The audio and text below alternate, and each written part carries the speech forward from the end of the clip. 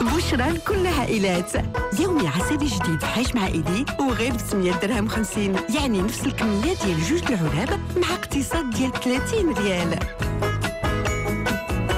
حتى نتوما استفدوا من يومي عسل جديد